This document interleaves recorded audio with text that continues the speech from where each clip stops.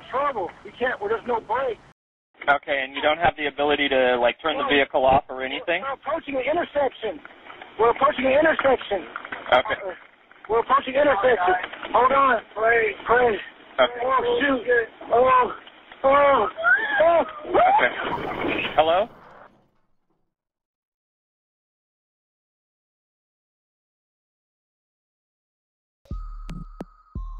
Le développement d'un véhicule obéit à une suite de séquences bien déterminées.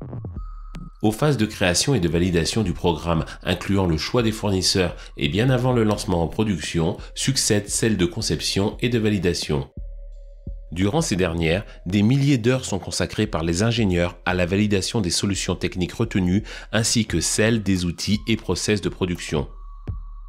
À l'issue de ce processus, le produit est considéré comme satisfaisant au cahier des charges. Le lancement en production peut être alors initié.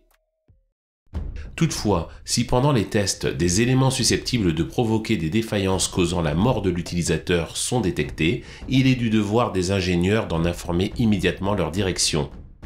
La loi impose alors que des solutions soient trouvées et validées pour que les clients intermédiaires et finaux soient protégés à tout prix avant la mise sur le marché du véhicule.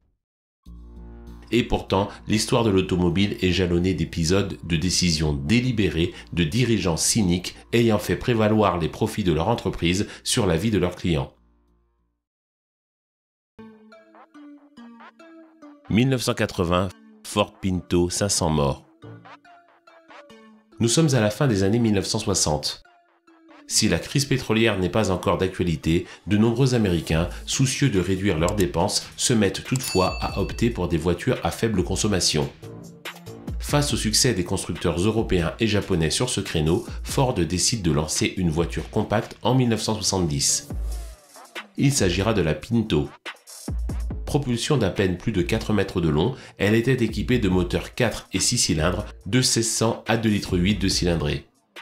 Le succès est immédiatement au rendez-vous, la voiture se vendant durant les trois premières années de sa commercialisation entre 300 000 et plus de 500 000 exemplaires par an. Seulement voilà, l'auto a un grave défaut de conception. Le problème se situe au niveau du réservoir d'essence. Tout d'abord, celui-ci est placé immédiatement derrière le pare-choc arrière. Mais plus grave, la structure de la voiture de manière globale, mais aussi et particulièrement à cet endroit, est extrêmement faible. Du coup, un choc même minime par l'arrière peut entraîner une fissure dans le réservoir et en cascade l'embrasement du véhicule. Et c'est ce qui arriva. Pas moins de 500 personnes au total périront brûlées vives dans leur Ford Pinto suite à des accidents. Les ingénieurs de Ford, conscients du danger, avaient pourtant averti les dirigeants de la marque à l'Oval à ce sujet avant même la mise en production du véhicule. Ces derniers, cédant à la pression économique, n'écouteront pas les ingénieurs et ordonneront la mise sur le marché du véhicule sans la moindre modification. Mais pire, une note interne éditée plusieurs mois après l'arrivée de l'auto dans les halls des concessionnaires confirmera le cynisme de la direction de Ford. Celle-ci contenait un calcul de la probabilité du nombre de morts que la Pinto pourrait causer en cas d'accident et du coût total des dommages et intérêts à verser aux familles des victimes. Le coût d'une campagne de rappel supérieure était mis en balance. À la suite de la découverte de ces faits, le grand jury de l'État américain décida d'intenter un procès à Ford. L'affaire aboutira à une campagne de rappel concernant 1,5 million de véhicules l'enquête confirmera la responsabilité de Ford dans la mort de plusieurs centaines d'automobilistes à la suite d'accidents dans des Pinto.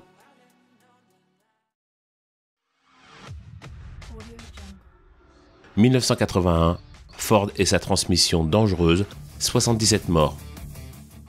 Peu de temps après la révélation de l'affaire Pinto, Ford dut faire face à un autre scandale.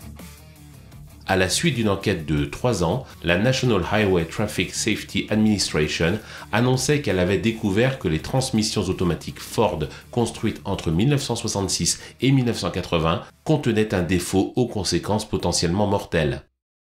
Le passage sans prévenir de la position parking à la marche arrière.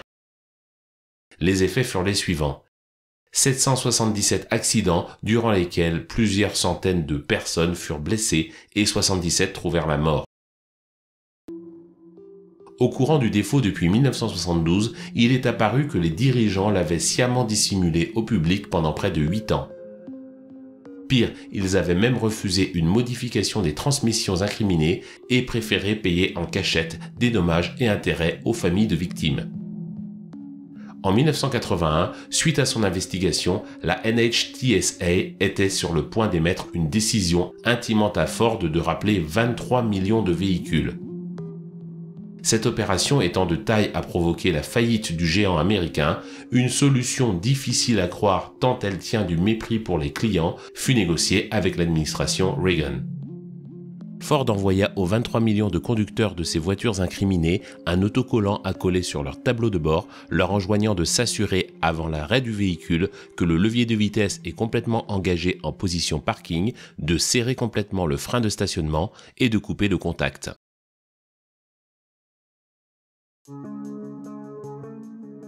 2000, Firestone et Ford, 88 morts. 13 millions, il s'agit du nombre de pneus qu'a dû remplacer le constructeur Ford sur le modèle Explorer en 2000. La même année, de nombreux exemplaires du 4x4 familial de la marque Aloval eurent à faire face au même enchaînement d'événements dramatiques. Éclatement d'un pneu sur l'autoroute, puis voiture qui part en tonneau mortel. Le 9 août 2000, d'un commun accord, Ford et son fournisseur de pneus Firestone lancèrent la procédure de rappel pour changement des pneus, considérés alors comme seul fautif. Les enquêtes ultérieures confirmèrent bien que les pneus livrés par Firestone à Ford pour équipement de l'Explorer étaient effectivement plus sensibles à l'éclatement que leurs concurrents, en particulier en cas de sous-gonflage. Seulement voilà, les pneus n'étaient pas les seuls fautifs. Plusieurs tests démontrèrent également que l'Explorer avait tendance, plus que ses concurrents, à se retourner en cas d'accident. Les ingénieurs de Ford avaient pourtant averti leur directoire. Introduit en 1995, cet Explorer, basé sur un châssis de Ford Ranger, voyait son centre de gravité remonter par rapport à ce dernier, conséquence d'une caisse plus lourde alourdi et muni en sus d'une suspension à lame à l'arrière, le risque de tonneau du véhicule en cas d'incident même mineur devenait réel. Pour ne rien arranger, des problèmes de stabilité au freinage d'urgence avaient été détectés durant les phases de test. Pour réduire ces risques, quatre mesures étaient préconisées par les ingénieurs conception. Abaisser la position du moteur dans le véhicule dans le but d'abaisser le centre de gravité. Allonger l'empattement de 2 pouces réduire la pression des pneus, réduire la hauteur des suspensions. Les deux premières modifications introduisant de forts coûts supplémentaires, l'état-major de Ford décida de n'implémenter que la baisse de la pression des pneus et la réduction de hauteur de caisse. Problème. Le choix d'un châssis de Ranger ainsi que de moteurs surannés faisait plonger le véhicule dans les classements de consommation par rapport à ses concurrents. Il fut donc décidé d'alléger le toit. Ce dernier, fragilisé, ne protégerait donc pas ses passagers en cas de retournement. 88 occupants de Ford Explorer perdirent la vie dans des accidents de ce type rien que sur le territoire des États-Unis. Des Toyota accélèrent sans prévenir. 89 morts. 1,2 milliard de dollars lorsqu'en 2014, le japonais Toyota est condamné par les autorités américaines pour avoir dissimulé volontairement au public des informations sur de graves problèmes de sécurité, le montant de l'amende constitue alors un record dans l'histoire des scandales automobiles. Cinq ans plus tôt, 2009, San Diego, Californie. Un homme, au volant de sa Lexus ES 350 lancé à 200 km par heure, appelle en urgence les secours. Selon ses dires, son accélérateur est coincé au sol. Incapable de freiner, la course folle du véhicule se terminera par le choc contre un 4x4, plusieurs tonneaux et la mort de ses occupants ainsi que d'un agent de police. L'opinion publique américaine, chauffée à blanc par la diffusion publique du macabre enregistrement des derniers instants du conducteur de la Lexus et de sa famille, réclame une action immédiate. Toyota décidera donc de lancer plusieurs campagnes de rappel pour vérification ou changement de pédale d'accélérateur. La première concernera plus de 6 millions de véhicules, dont la Camry, la Prius et quelques modèles de Lexus, rien que sur le territoire des États-Unis. 1,8 million de véhicules supplémentaires seront également rappelés en Europe. Et pourtant, les différentes enquêtes mirent en exergue deux autres causes possibles. Tout d'abord, un tapis de sol aux dimensions inadéquates ayant coincé la pédale d'accélérateur. Une erreur du conducteur ayant confondu la pédale de frein et celle d'accélérateur. En 2020, Toyota introduisait au Japon un système automatique de détection de comportements incongrus tels qu'une accélération constante et pied au plancher. Outre l'avertissement instantané du conducteur, ce dispositif a pour fonction de couper automatiquement l'accélération du véhicule et de freiner si un obstacle est détecté.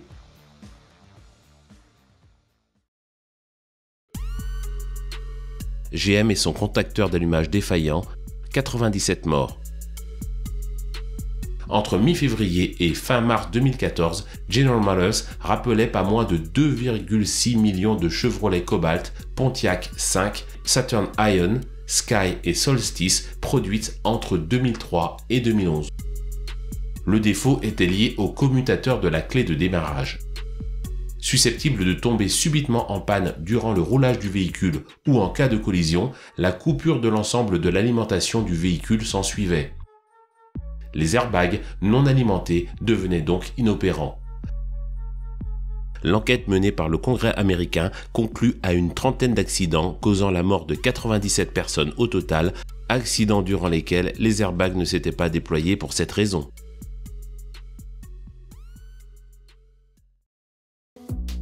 2014, Volkswagen Dieselgate, plusieurs milliers de morts.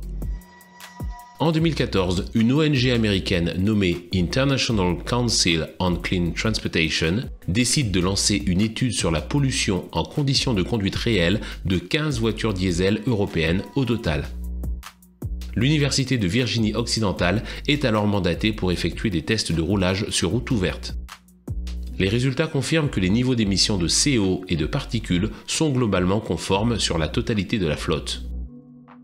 En revanche, trois des véhicules testés sont épinglés pour des émissions d'oxyde d'azote pouvant dépasser plus de 22 fois les maximums admis par la législation américaine. L'identité des coupables sera révélée en fin d'année 2014.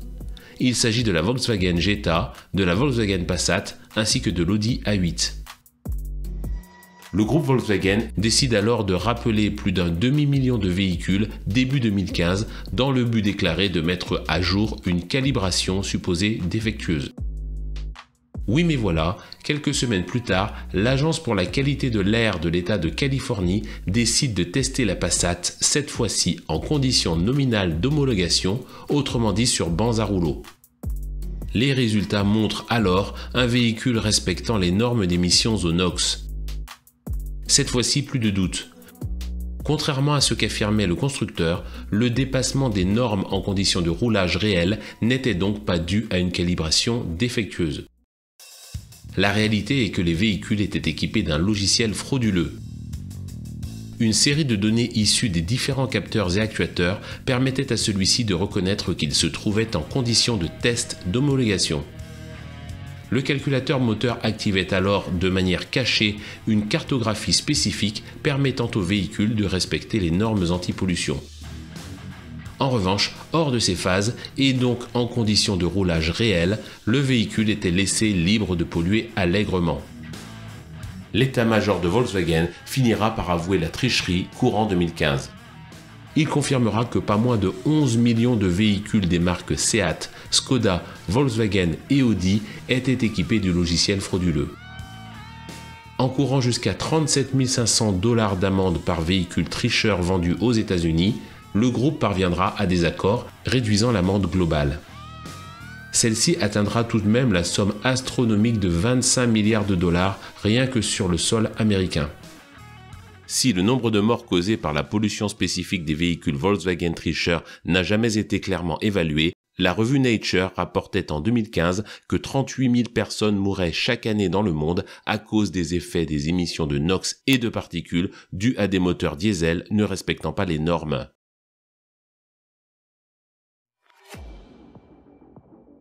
Takata et ses airbags mortels, 28 morts. Spécialiste des systèmes de sécurité, l'équipementier japonais a dû faire face dans les années 2010 au plus grand rappel de l'histoire. Pas moins de 100 millions de véhicules chez plusieurs constructeurs ont été concernés. La cause, plusieurs cas d'explosion inopinée d'airbags depuis les années 2000, ayant tué 28 personnes et en ayant blessé plus de 200 à travers le monde. La première enquête à ce sujet fut ouverte par la National Highway Traffic Safety Administration aux États-Unis en 2014. À partir des années 2000, le fournisseur japonais avait décidé d'introduire dans ses airbags un nouveau produit chimique, le nitrate d'ammonium. L'objectif était de remplacer les composants azotés utilisés auparavant, ceux-ci étant toxiques en cas de fuite.